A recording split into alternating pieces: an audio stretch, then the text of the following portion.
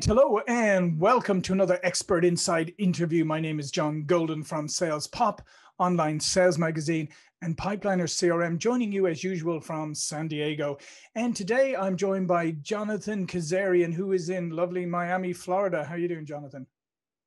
Doing well. Thanks for having me on today. Excellent. And Jonathan is the founder and CEO at Accelevents. Okay. And uh, one of the things that we want to talk about is the virtual experience. Uh, Jonathan's company have uh, have their own technology, uh, and what I wanted to talk today about is how you can make the experience of doing whether it's a virtual sales meeting, whether it's a virtual event, whether it's um, anything, you know, company meetings, whatever it is you're going to do virtually. What are the benefits of it, and how can you how can you really optimize that experience as opposed to looking at it as oh well i can't do it in person right now so i guess i'll do it virtually but not really um, not really having great faith in that. I want to reestablish the fact that not only uh, does it have it has its own real benefits so not only is it it's not just a fallback but it's actually something that has its own benefits and advantages.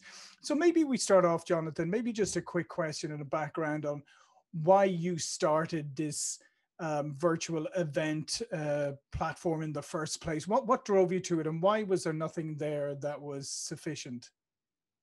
Yeah, so actually, we started in the fundraising space uh, as a result of a fundraiser I was hosting to benefit Dana Farber Cancer Institute up in Boston uh, when a family member got got uh, diagnosed with cancer. And going into that event, I just couldn't find any affordable technology to facilitate the auction and the raffle. So built out a lightweight solution and uh, and it worked and we got great feedback and decided to take that and run with it. And then as the platform expanded we started to focus more heavily on the ticketing arena and then obviously covid happened. So we took this as an opportunity to pivot into the virtual space and it's uh, certainly worked out well. Yeah so when you when you first started off and you were looking at other technologies and you started off i know in the in the um, in the in the charity or whatever bidding space. Um, what was it in particular that was lacking uh, in the current technologies that you wanted to address? Yeah, so it was affordability and user experience. Uh, the platforms that were out there, they just they weren't taking advantage of the modern technology, and they weren't taking advantage of the devices that people have in their pockets and at home. So um, we just looked at that as an opportunity to capitalize on that. So, what are some of the things that you have done to increase the user experience, and maybe not just with the technology, but maybe with the way you present, the way you conduct your events or whatever? What are some lessons that people could learn about how to do it properly?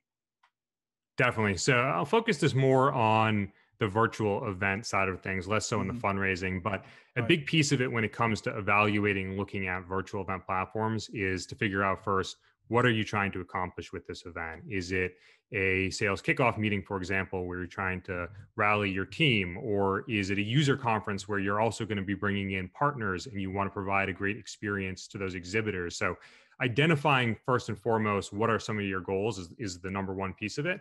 And then thinking about how you're going to accomplish that experience. And when we think about that, one of the big pieces is having everything under one roof so that you don't have to be picking and choosing different providers and hodgepodging them together into one tool.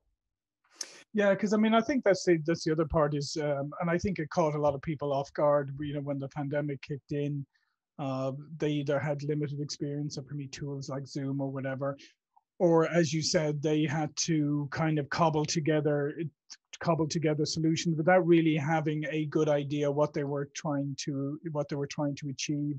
So it sounds to me like this is one of the pain points that you were able to address is is like bringing everything together in one place so you can focus on the user experience. Because to be honest if you're gathering different technologies you're trying to cobble things together you're just trying to get the event off the ground um, there's very little room left for you to actually focus on what's the user experience going to be like. Exactly and again when you're thinking about the user it's not just the attendee it's also those mm-hmm. exhibitors and one of the one of the pieces that we really thought about from day one on the virtual event side of things was um, there was so much skepticism around whether or not sponsoring a virtual event would be worthwhile being an exhibitor at a virtual event. Mm-hmm. And we mm-hmm. said, well, let's make sure it is. So we attack that problem by really building out that component of the experience for an exhibitor to ensure that they're collecting leads, that they're creating real interactions and experiences with the attendees, and they're being put in front of the right buyers. Yeah. So, what were some of the, uh, when you started this initially, what were some of the things that you did that maybe surprised exhibitors, surprised attendees? Yeah. Well, from the attendee perspective, again, it's having everything work and be mm-hmm. streamlined uh, and being browser based. I mean, there's a lot of tools out there that are kind of stuck on top of Zoom and you're switching between a, a desktop app and a browser based app. Um, but from the exhibitor side of things, it's really giving them everything that they might have within their existing infrastructure. So if you're using like an intercom or a drift chat widget on your tool, building that into our experience, but natively, so they don't have to worry about connecting other tools, being able to see which of the attendees of the event have visited their booth, allowing them to build out that microsite, to have video interaction so they can communicate one-on-one. And as compared to in-person event, where you might have who knows you know rubber duckies and t-shirts on your table and every 200th person who walks by grabs one of those and every 500th you, you get their business card. Well now you actually get those leads from everybody who stops by and not just their contact information but also their interests. What is it that they're looking at? What are they downloading? Instead of they grab a brochure off the table and walk away and so in many ways it's a richer experience i mean for i mean for sure. and maybe even maybe even for both parties if you think about it because I mean, let's face it. Often, when you wander up to a booth at uh, at, at a uh, at a conference, maybe you have a very eager person working that booth, uh, but you're not really in the mood to talk. You just actually literally want to browse, um, or or as you said, maybe you're just one of those people who's doing a quick drive by to grab the rubber ducky off the table and just fill your bag full of tchotchkes. Um, so it seems in many ways it's kind of it, it's almost a, a a better filtering process. It is in the same way that you might walk by that booth and kind of eavesdrop on that conversation mm-hmm. that that exhibitor's having with an attendee you could do the same thing here and then if you want to engage the exhibitor you can raise your hand and ask the question and enter into that conversation or you can just keep walking so, in, in your experience, since you've been doing this um, with feedback from ex- exhibitors, have they been surprised at maybe the level of interaction? Maybe that it, I mean, I, I, as you said, I'm sure a lot of them at the beginning were thinking, okay, nobody's going to come to this, nobody's going to interact, it's going to be a waste or whatever. What were some of the things that happened in the feedback you got from exhibitors? Yeah. So, it's, I mean, it's really right around the lead collection. It's that they, in half of a day or a day at home were able to gather more leads than they ever were getting by getting on a plane, traveling, going to a venue, you know, maybe having dinner, and at a fraction of the cost as well. They stick a BDR in the booth, and that BDR is there uh, interacting or through some of the networking components of the platform, interacting with the attendees in a way where it's getting their brand out there. It's incentivizing people to stop by the booth. So uh, or it could be working with the event organizer to sponsor one of the speaking sessions. So mm-hmm. similar experiences that you might have in person, but uh, but expanded and with the data component that's always been lacking with uh, with in-person experiences. Yeah, and, and that's a, I think that's a great point, and I think that's one of the things that has always been, you know, particularly in recent years, uh, a lot of people have wondered about the return on investment of of conferences, and like you said, is uh, if you're sending somebody there as an exhibitor, you're paying a lot of money. They're out of pocket for a certain amount of time, and let's face it, in, in many times the ROI isn't there. I mean, it really, it really doesn't come back. And but what you're saying here is that, that some people are seeing a, a much greater ROI with less cost by doing it virtually. Absolutely, and not just on the exhibitor side, but also the event organizer. If mm-hmm. I'm uh, if I'm an event manager for a company and my CMO is asking me, what was the value that we got out of hosting this event that cost us seven hundred thousand dollars to put on? Mm-hmm. I don't have that much data if it's an in-person event. I just don't. There isn't that much data to collect. But now with this in with this virtual experience and, and soon to be hybrid experience, there's just going to be so much more information that I can take and go back to my CMO or go back to the CRO or whoever else it might be and say, hey, here are the leads we got. Here are how they interacted here's all the information we figured out about our existing customer base that's an opportunity to upsell them on a new product line or something else that we historically didn't have or here's how we deepen relationships with some of our partners by offering them all of these leads that we didn't have any insight into before. We didn't know what value they actually got because that's just between the handoff of a business card from that exhibitor to the to the attendee. Yeah, exactly. And then uh, and going going forward, uh, you just mentioned hybrid there. Do you expect a lot more people, even when they can do in person events, to start to combine it with technology, or at least uh, you know do a do a good analysis of which is more beneficial, doing it in person or doing it virtually, or as you said, combining it. So do you you envision a lot more kind of hybrid going forward? Yeah, this is uh, a question I was actually answering earlier today as well. So uh, I do. Uh, somebody asked me earlier today what percentage of historically in-person events I think are going to return to being in person. And I think what we're going to find is it's still going to be, frankly, a couple of quarters or a couple of years before we start to mm-hmm. see some of those larger profile events return to in person. But I think the other thing that we're going to learn is that there's quite a few people who either don't feel comfortable attending those events in person or have realized that they don't need to in order to get the value, or their company might not be willing to spend the money on the travel and the ticket, or they just care more about the environment and sustainability and realize that the trade off isn't there to attend in person. So, with all of those four factors and less attendance at those events in person, it's going to be even harder to justify the cost of hosting the event in person. And it's going to be harder to justify the cost of sponsoring that event when my buyers aren't there. Yeah, no, I think those are great points, and I also think there's an interesting thing, and I think uh, you know, there's a, as a byproduct of the the pandemic, it's happened to a lot of different areas. But I think again, this has brought into sharp focus the the value of in person conferences, and, and not just the value because some of them obviously are extremely valuable, but the format i mean in many ways the format hasn't changed in in many years i mean most of my professional career i mean the conferences of i i go to or have gone to they follow the same format. They have keynotes they have breakout sessions they have you know exhibitor booths outside or whatever but there was not there's there hasn't been anything really innovative in in general in conferences for a long time. I uh, i've been watching this tv show called halt and catch fire and one of the main characters in that went to Comdex in the early 80s. And then in the episode I, I, most recently watched, he went back in the late 80s and he walks in to the trade floor in Vegas and he goes, So much has changed, but so much is still the same. And it really is the truth.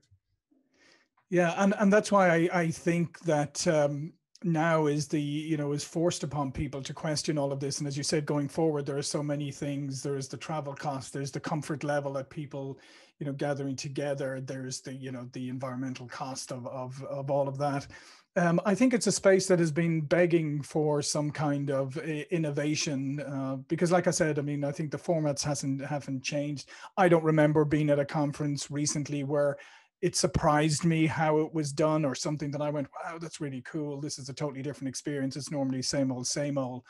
Uh, so would you encourage uh, people out there who maybe have suspended all of their events uh, to start looking at doing things virtually, but not just doing, as I said at the beginning, not just doing things virtually because you can't do them in person, but doing them virtually because you can deliver a new and maybe more surprising, more engaging experience? Yes, absolutely. But to expand on that, it's the experience is crucial, but it's it's more than just the experience. Mm-hmm. One incredibly common trend we've been seeing, especially with the IPOs of the past quarter or two, is that the companies that are winning are winning because of the community they've developed around their product and around their brand. And one of the best ways to develop community is bringing people together with a common interest in your brand, in your company, in what you're doing and events are the best way to do that. These these communities they're global. It's all about getting these people together at the same time literally a couple of hour point in time where they can interact and communicate with each other and build networks. And as a company if you can deliver that and now deliver that at a much higher frequency and a much lower cost it's a really really strong way to build stickiness with your brand yeah, it's a it's a good point. Uh, that's an, actually an excellent point because sometimes that's what obviously in person conferences, you know, you know they they they promise you're great networking, you know, meeting people, great community. And, and a lot of that never really materializes because they don't have the mechanisms really in place to do it, or they don't have a process to really help people. But when you come into a virtual world, actually facilitating networking, facilitating community and all of that, if you do it, if you do it right, I mean, the, the technology really does aid you here. Absolutely. And I mean, there's also those times you've met somebody, you've had a beer with someone, you're like, this guy's super interesting. I, you know, really, we could do something together.